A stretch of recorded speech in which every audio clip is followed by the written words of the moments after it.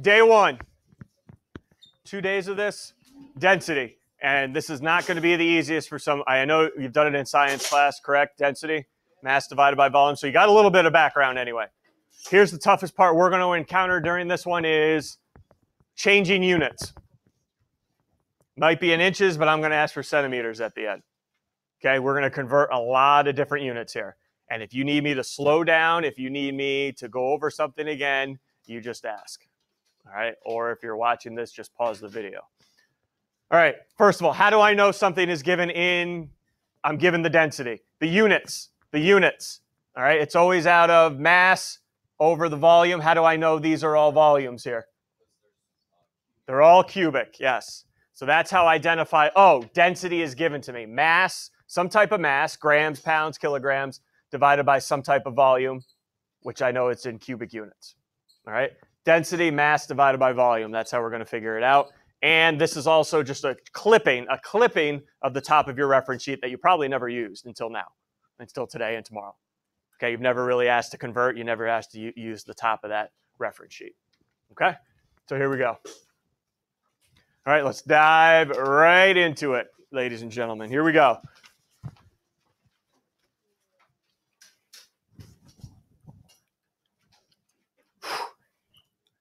All right, we got 98 boulders. They roughly cut into a cube. Boom, there's the figure I'm working with right now. It's a cube. Each side 0.8 meters. The stone has an average density of kilograms per meters cubed. No, not bad. There's my density, right? All right. Uh, what's the average weight in what? Ooh, yike, pounds. What's the density in? Kilograms, yeah. So we're going to have to convert something at the end. Does everyone notice that? Boom, right away. The density density weight is in kilograms, but I need it in pounds. Everyone's good there. All right. So before I can find it in pounds, I got to find out how much they weigh in kilograms. Formula for density, because that's what's given right here. That's my density. Density equals mass over volume. Hey, which one of those three are we trying to solve for the boulder? Mass, mass, mass. Yep, so M's going to stay M. What's the density value? 3,000. Boom. 3,000 is equal to the mass of a boulder divided by who? Volume. Good thing we're in this unit. What's this the shape of? A cube. Volume. A cube is the same as a prism. Prism formula for volume. It's on your reference sheet. Look if you need to. Volume of any prism. Big B times H. And what do you know about the side lengths and the height? Every dimension about this cube. They're all 0.8 meters, so what should I be multiplying here to find the volume? 0.8 times 0.8. There's the base times the height. 0.8. All the same for a cube. All right, so everyone go ahead, find the volume of a, find the volume of one of these boulders. And it ends up being 0.512.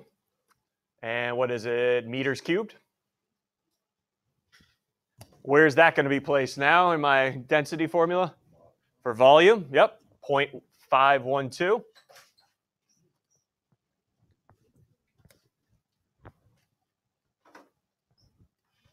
All right, you guys go ahead, find the mass of one boulder in kilograms, remember, because that's what your density is in, in kilograms.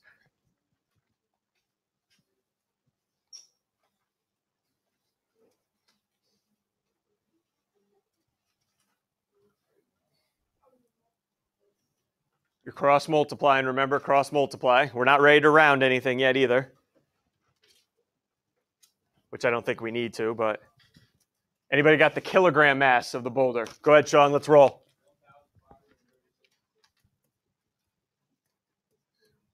Kilograms. There's one boulder. 1,536 kilograms, but we need it in pounds. Whew. All right, I'm going to try to make this as easy as possible when we convert. First thing I need to find using my reference sheet, what is the conversion from kilograms and pounds? What is that darn conversion?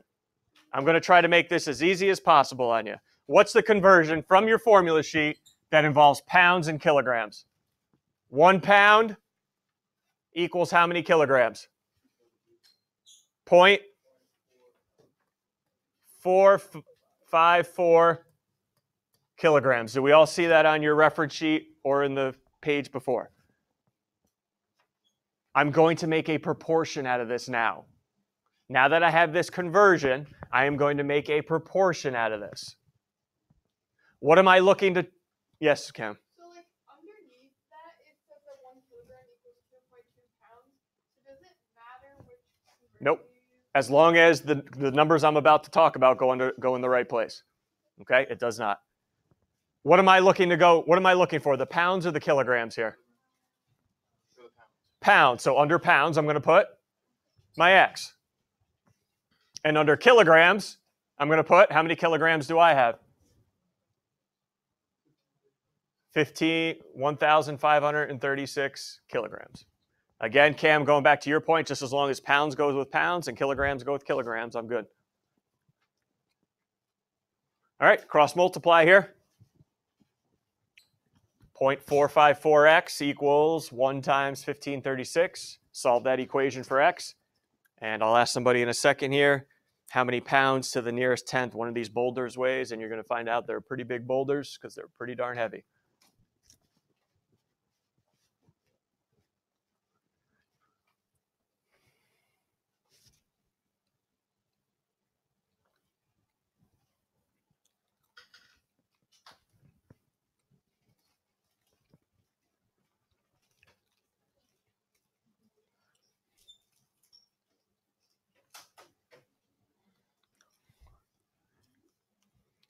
Anybody taking this one? How many pounds are in one boulder?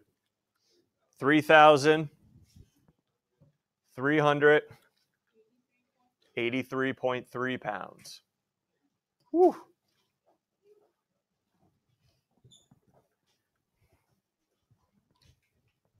And get into that point because we still got a little uh, part B here. Getting to that point, everyone good? All right, nice job on that first part. Second part, dump truck can only carry 28,000 pounds. How many trips is it going to need to make to carry all the boulders there? Now, I want you to be aware of this. It can only carry full boulders. You can't carry one boulder, then cut one in half and say, throw it in there. Okay, only can carry full boulders. All right, full boulders. So, what I want to first find out is, well, how many full boulders can this truck carry at a time? And then I'll figure out how many trips I can have. What's its weight capacity? Okay, I got the 28,000.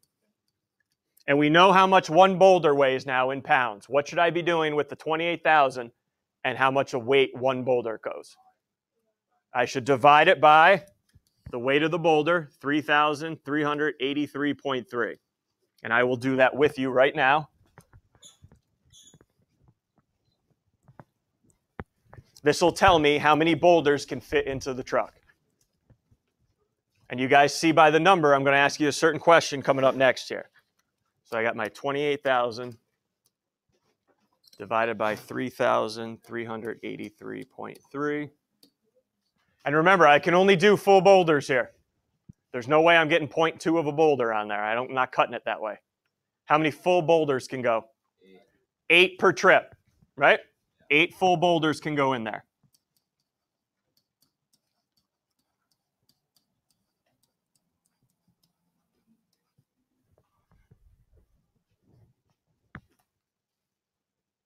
How many boulders do I have to transport?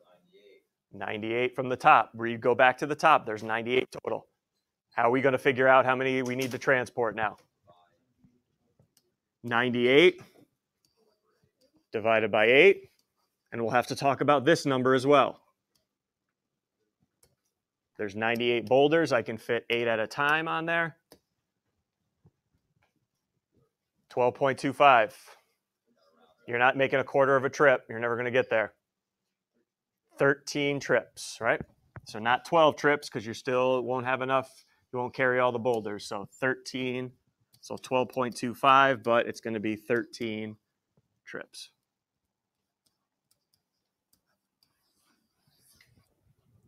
Okay.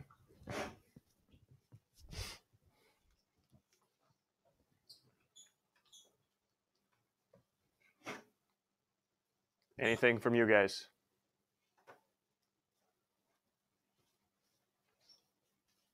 Going? Okay. I'm going to have you do a little bit more work on this next one. Seems a little familiar, uh, hopefully, this next one. We're going to heat the, we're going to cool this room. The room's the entire house here. Two BTUs per cubic, oh, here we go again. Two BTUs for every cubic foot of airspace. Volume, surface area. Cubic foot, volume. Okay, what's the top made up of? Name the top polyhedron. Triangular prism. And what about the bottom one? That's a rectangular prism.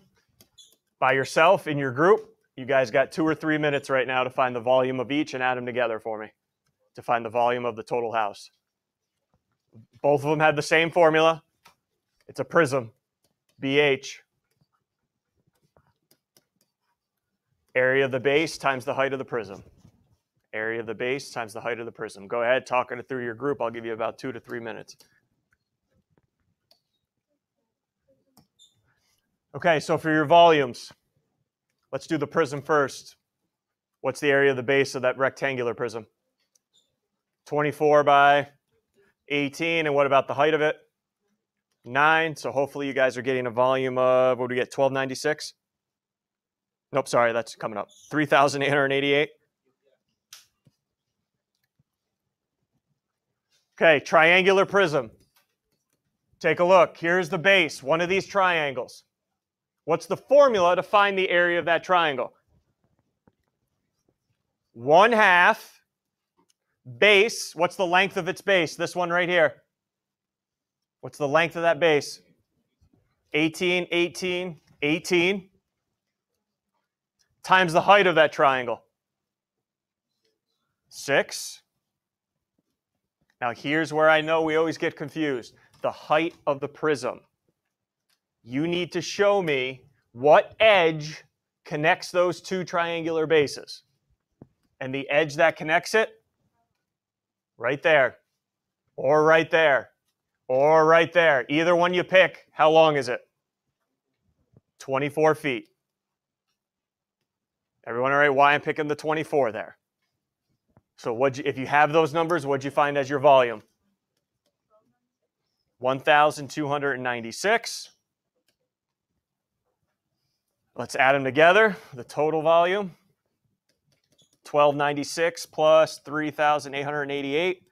That's a volume of, what did I get here? 5,184 cubic feet. And I know I still have the 1,000 BTUs for every, every window. I'll get there in a second. Two and a half BTUs per cubic feet. Divide or multiply by two and a half. Divide or multiply. For every one cubic foot, two and a half BTUs. So I'm going to multiply. Hey, if, it, if this is an issue, I know some of you are a little, you just don't want to raise your hand and say why. Maybe I thought I would divide it. Set up a proportion. Watch. Two and a half BTUs for every one cubic foot. What do we already know? I already know how many cubic feet. 5,184. How many BTUs? Boom, cross multiply. You'll see, oh, I actually end up multiplying by two and a half. So total BTUs, 5,184 times two and a half. And I still have to add in what though? Why 4,000? Four, four windows, 1,000 BTUs apiece. So total number of BTUs I'm going to need? 16,960 BTUs to heat or cool this house.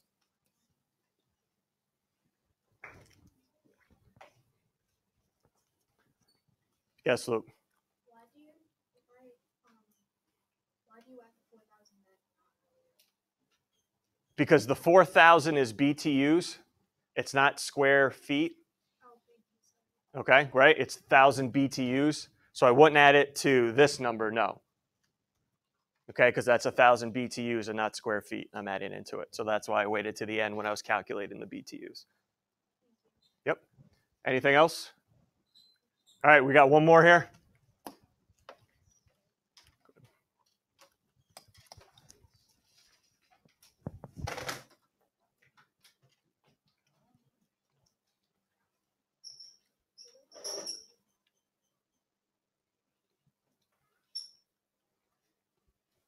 Okay, can we can this trailer hold 500 bricks?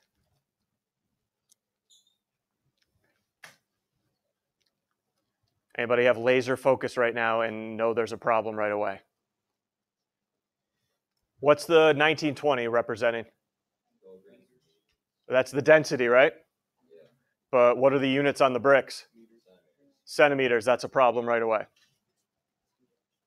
I can't do the density formula right now with kilograms and with centimeters. So what I'm going to have you guys do is help me out is change all of these to kilograms first. Okay, don't do it at the end. It's never going to happen. Do it at the beginning. Centimeters to kilograms. I believe that conversion's on there, right? I'm sorry, centimeters to meters. Centimeter. That's actually not on there, right? Centimeters to meters. Anybody know it? I'm going to give it to you if it's if it's not on the reference sheet. If you need it, I would always give it to you. Centi meaning 100. 100 centimeters equals one meter. Okay? 100 centimeters equals one meter.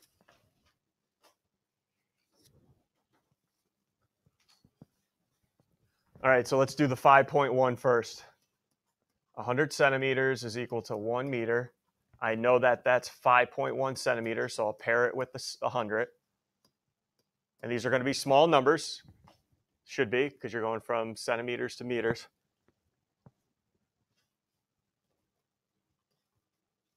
how many meters in 5.1 centimeters. And you guys will notice the pattern pretty quickly.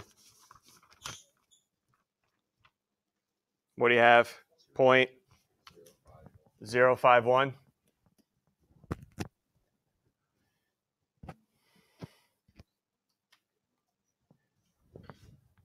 And then I'll ask somebody in a second, what about the 10.2 and the 20.3? I don't know if you guys noticed the pattern. Maybe you do, where you don't have to set up a proportion right away.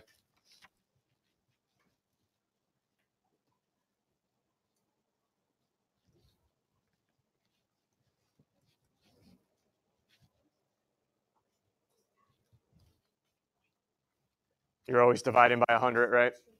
So you're just moving the decimal two places to the left. So 10.2, 0.102, 20.3, 0.203 meters, meters, meters.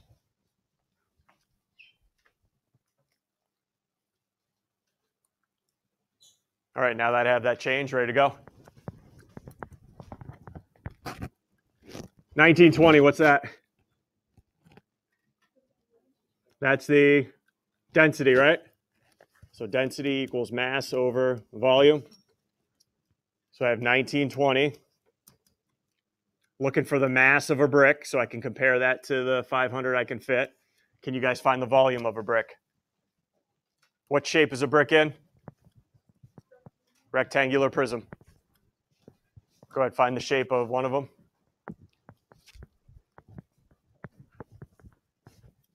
The volume of one of them.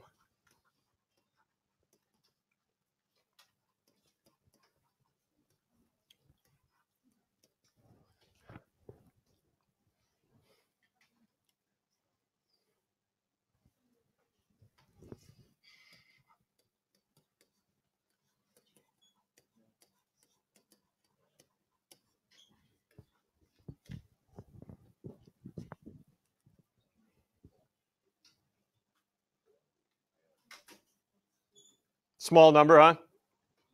It's fine. 0.00105 meters cubed.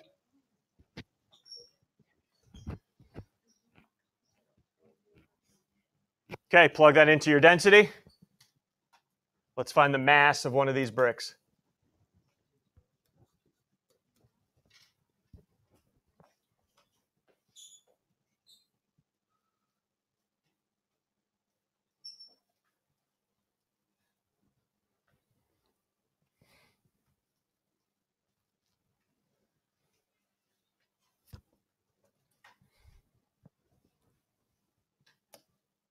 Weight of one brick, two point, yep, 2.02. I'm not ready to do any rounding yet, keeping the, all these numbers here.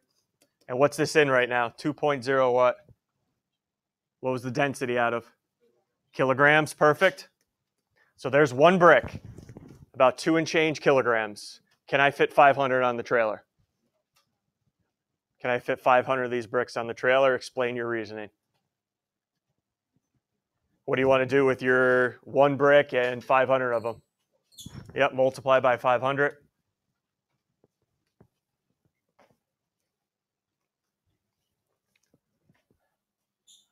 And we don't have to worry about all the decimals here. We clearly see it's about what, 1,014 kilograms? So this tr- trailer, no go, right? Trailer will not hold 500 bricks.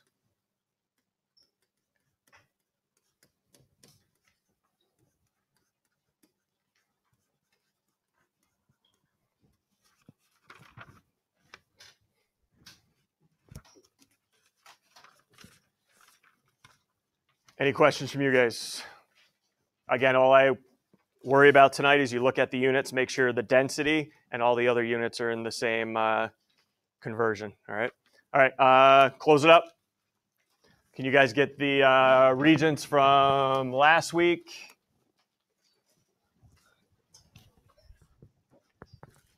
We're not on this one. I want to go over a couple from. So that should have been, let's see, August 2016, I believe.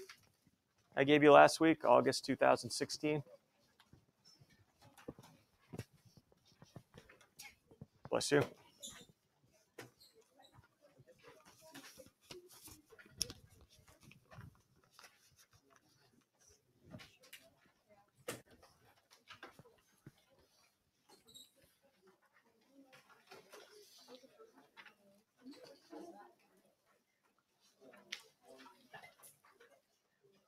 Number 30.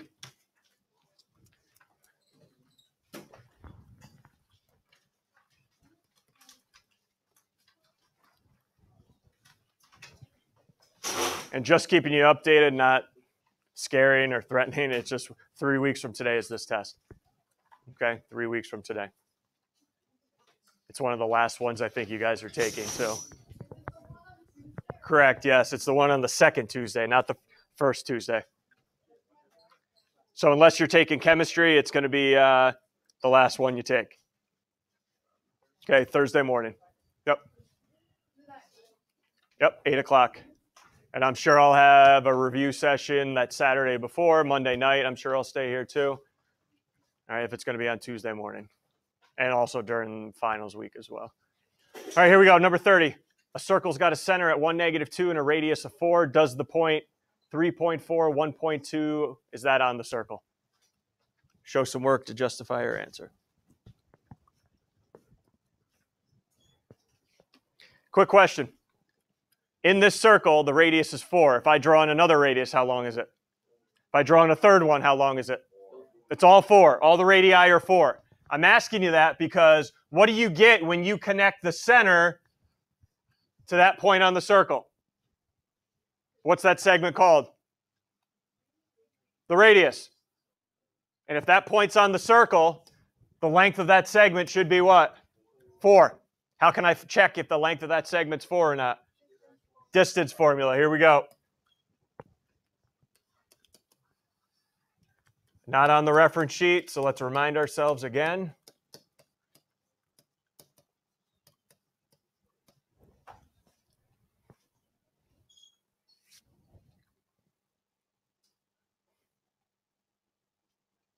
This distance should be 4 if that point's on the circle. Let's check. What are my x coordinates?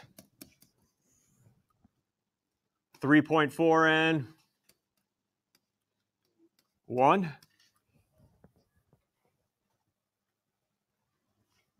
and negative 2 minus 1.2.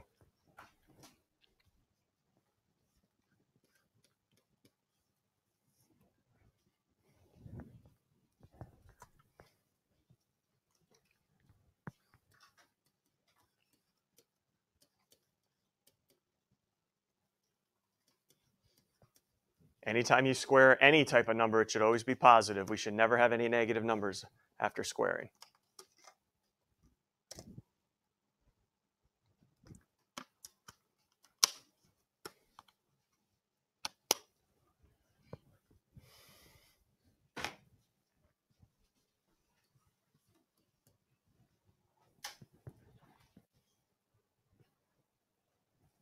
What's that number you're getting underneath the radical? Oh, 16. So the distance is 4, so does it lie on the circle? Yes.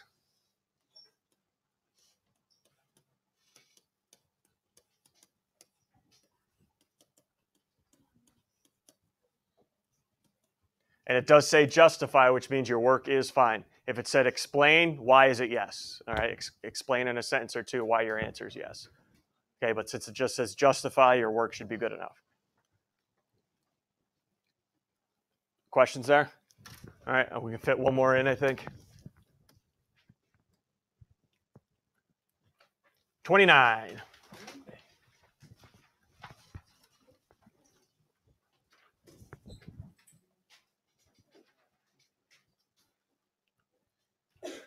MNP is the image of JKL after 120, yep, around point Q. Measure of angle L, 47. Measure of angle N, 57. Determine the measure of angle M. Got it.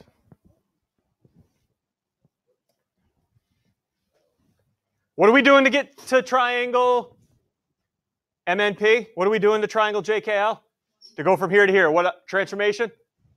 Rotation. What doesn't change in a rotation? Side length, or in this case, angle measure. So angle M should be congruent to what?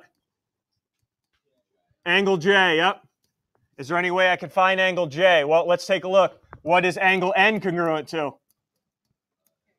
Angle K, yep. Angle K, angle N is 57, so that means K is 57. And J and M are congruent, so we can find angle J, which is equal to angle M. 180 minus 57 minus 47